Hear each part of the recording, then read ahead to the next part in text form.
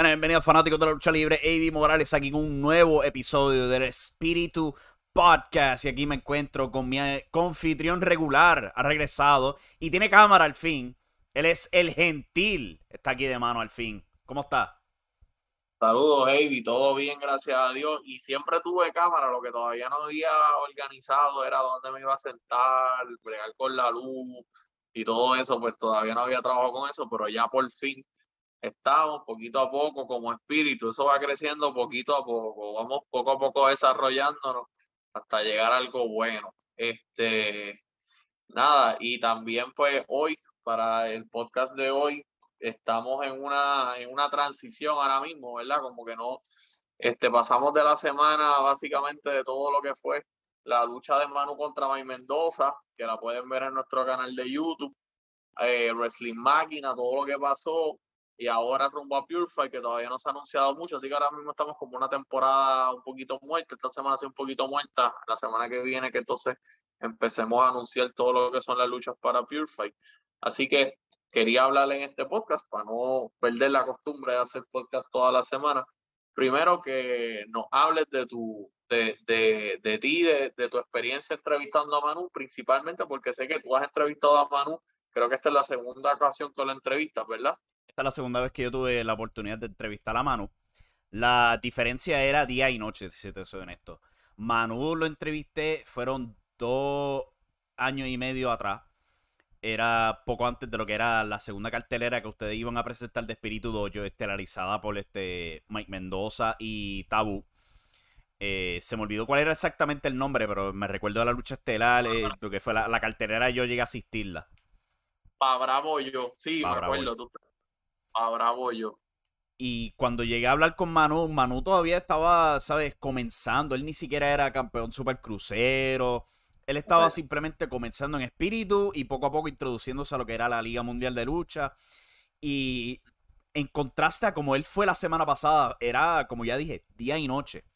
Para ese entonces, él estaba tan contento de simplemente contestar preguntas, lo que sea que yo le dijera. Pero lo que fue la semana pasada, que yo le tiraba preguntas. Él tenía una confianza, él siempre sabía qué decir, él siempre tenía como mantener su actitud. Eh, para mí fue una entrevista bastante retante porque se expresaba rápido. Él llegaba a su punto rápidamente, él sabía exactamente lo que iba a decir, no importaba la pregunta que yo le hacía. Podía ser de él, de su pasado, de su futuro, de su relación con Miguel Pérez, eh, sus planes para Espíritu Doyo. Él simplemente hacía lo que sea y contestaba todo de, cualquier manera. Así era como fue esa entrevista la semana pasada. Fue una tremenda experiencia. Si no la han chequeado todavía, se las recomiendo. Búsquenla en el canal de YouTube del Espíritu de hoy, porque fue una tremenda entrevista, honestamente. Tú, gente, ¿qué, qué tú piensas de esa entrevista? El, hombre habló de ti. Claro, pues sí, exacto, eso es lo que iba a hablar. Primero él me tiró mi agüita, pero voy a tratar primero de hablar un poco de manera objetiva. Como, como, como analista que, que funjo aquí en, en el Espíritu Podcast. Y luego, pues, meterme un poquito más entonces en lo que es lucha libre y lo personal. En cuestión de la entrevista, si no la han visto, pues en el episodio pasado del Espíritu Podcast, este, aquí en nuestro canal de YouTube, eh, yo vi mucho de lo que tú también estás diciendo. Yo creo que Manu se proyecta muy bien, tiene, y, y yo creo que yendo a nuestro primer Espíritu Podcast, que hablamos sobre si Manu tenía la capacidad de cargar una empresa, pues ya vimos que no solamente es muy bueno luchando, o sea, eso ya lo sabíamos, también luchando a nivel main event, esa lucha con Mike Mendoza contra Manu la pueden ver en YouTube, tiene dos mil y pico de views, es nuestra lucha más vista en el canal de YouTube, así que también la pueden ir a ver y la entrevista, o sea, también el tipo se proyecta bien, habla bien y tiene mucha seguridad. Así que en ese sentido, pues no sé qué, qué le puedes encontrar malo a Manu en estos momentos. El tipo está en su momento, o sea, lo tiene, lo tiene prácticamente todo. Eh, eh, tú, baby, ¿qué, ¿qué, tú ves como que él como paquete? ¿Qué, qué, ¿Qué cosas tú crees que él podría mejorar o qué tú crees que él podría como que trabajar? Yo creo que puede, es cuestión de experiencia cuando se trata de él. Él lo que lleva es dos años y medio como Por eso, pero en los dos que lleva. Ya lo vimos, o Mm. sea, poco a poco, lo que hemos visto desde que empezó Espíritu, luchando, hablando, eh, todo. O sea, ¿qué, qué, qué- qué tú crees que son sus puntos flacos? ¿Qué tú crees que podría mejorar? Pues honestamente, si tú me lo dices de esa manera, yo creo que él todavía le falta, ¿cómo lo digo? Porque hablamos de la confianza de él, pero al mismo tiempo, él lo hemos visto que se ha titubeado un poco. Cuando fue la lucha estelar con Mike Mendoza, él me lo dijo la semana pasada, él tomó la silla y él lo describió como un momento débil para él. Y yo siento que hay todavía cierto nivel de indecisión en su mente sobre qué él quiere hacer y qué siente que debe hacer para eh, ganar una lucha. Yo creo que él todavía está como que peleando con, ok, ya yo soy el campeón, soy luchador nivel estelar en esta empresa, no me hace falta trampa y yo creo que él todavía está, este, ¿sabes? Peleando con eso. De, de esa mentalidad de soy el luchador o soy el, el- el peleador, para ponerlo de esa manera. ¿Uso la silla o uso mi llave de rendición? Así es como yo lo veo. Sí. Iba a despotricar un poquito, le iba a tirar un poquito su agüita para atrás a Barú, porque él me tiró un par de cosas en la entrevista y todavía las tengo en la cabeza.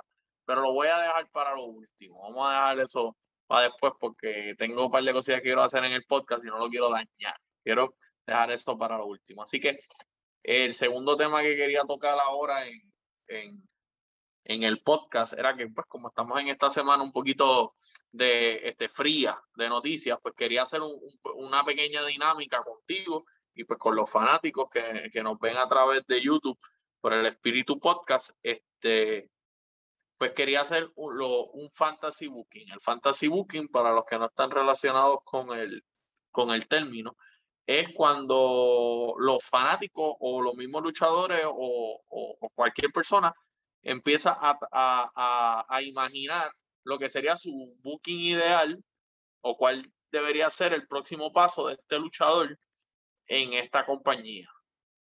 Es como que, ¿qué, ¿dónde tú lo verías? ¿Qué tipo de oportunidades tú le brindarías? ¿Qué tipo de trabajo tú crees que él debería estar realizando dentro de la empresa? Así que lo que vamos a hacer es, como yo soy parte de la empresa, pues yo no voy a jugar, así que va a jugar Avi. Yo le voy a tirar a Avi unos nombres de muchachos de espíritu él, y él va a decir, ok, yo creo que este luchador necesita este tipo de lucha o le convendría luchar con este otro a ver cómo le va dentro de la empresa. ¿Estás ready? Vamos con eso, dale. Muy bien, pues entonces el primero que iba a tirar es Baltasar Bruno. Baltasar Bruno. Ese es uno interesante porque lo acabamos de ver en Lucha Libre América.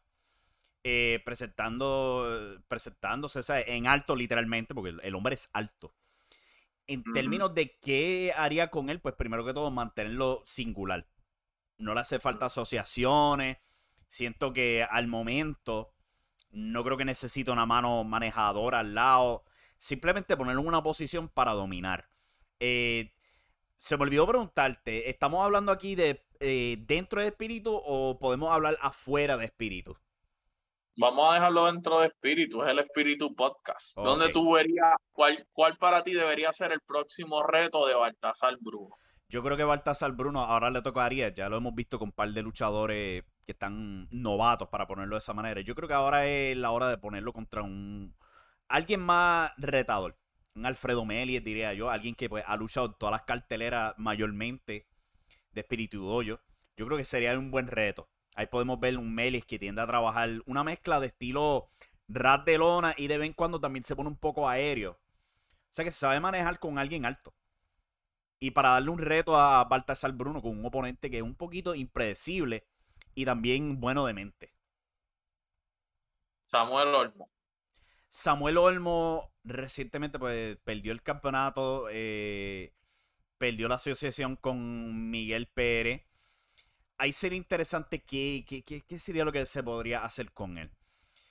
En verdad, yo creo que sería hora de bajar un poquito y trabajar más con lo- los otros contrincantes del espíritu de yo. No necesariamente con los Mike Mendoza o los Gentiles, pero más con, por ejemplo, un Edrax, un Adam Riggs, que Olmo pueda eh, de- despejar la mente de haber estado cerca de la escena titular.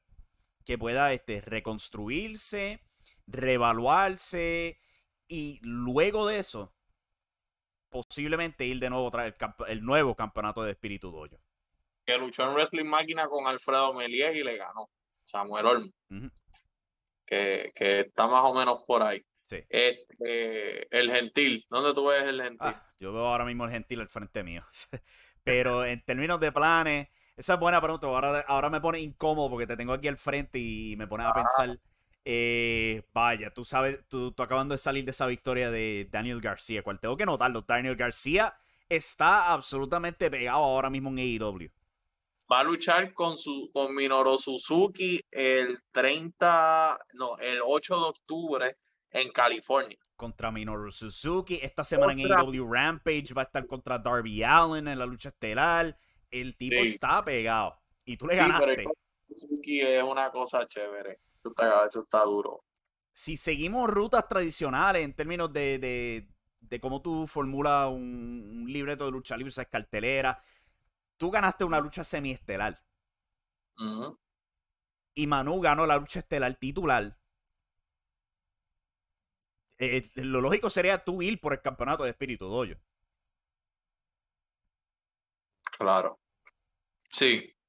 Sí, sí. Bueno, ya que, ya que la tiraste ahí, pues yo creo que este es el momento para aprovechar y, y hablarle directamente a Manu, que Manu, de entre todas las cosas que habló, que muchas cosas pues son ciertas, otras cosas no tan ciertas, mencionó que, que yo soy un buen retador, eso fue la, la palabra que él usó, que yo soy un buen retador que no tengo madera de campeón. Pero parece que a Manu se le olvida que la última vez que nos enfrentamos, yo lo derroté a él. En el diciembre del año pasado, en Exhibición de Fuerza, que fue el primer evento que tiró Espíritu por el canal de YouTube durante la cuarentena, que yo lo derroté a él. Y también parece que se le olvida que la primera vez que nos enfrentamos, él me tuvo que atacar a traición, lastimarme, para entonces poder derrotarme por el campeonato supercrucero de la WWE. Ahí fue que introdujo la silla. Así que parece que Manu, pues quiere jugar con mi mente o se cree que puede meterse en la mente del gentil. Pues él, él su plan tendrá. Pero yo le voy a decir que ese campeonato, pues yo tengo el ojo echado ahí, porque nadie es más leal y nadie quiere más espíritu. Porque te das cuenta en otras compañías. Yo no ando ni estoy 100% en espíritu. Y es porque espíritu para mí es lo más importante dentro de la lucha libre. Ahora mismo. Esa es mi meta principal, hacer de espíritu, establecer espíritu y llevar espíritu a otro nivel. Y qué mejor que por el campeonato, con el campeonato de espíritu. No es un reto, no estoy retando más todavía, pero que se abuse, porque ese campeonato yo le tengo el ojo echado. Y yo creo que con eso podemos cerrar el podcast. Así que síguenos en nuestras redes sociales, en Facebook como Espíritu Pro Wrestling Doyo, en Instagram como epwdoyo.2018 o mira nuestro contenido en YouTube, que donde tenemos luchas gratis, podcast y otro tipo de contenido en Espíritu Pro Wrestling Doyo. Por supuesto, por ahí se, acerca el evento de Pure Fights por la IWTV, pronto anunciarse la cartelera, la fecha y todo eso. Y pues para cerrar también, aquí AB Morales de Radio Estelar, Impacto Estelar. Pueden visitar impactoestelar.com y todo eso, nuestra página de Facebook, donde están todos los detalles nuestros al respecto. Y muchas gracias por la oportunidad, el gentil.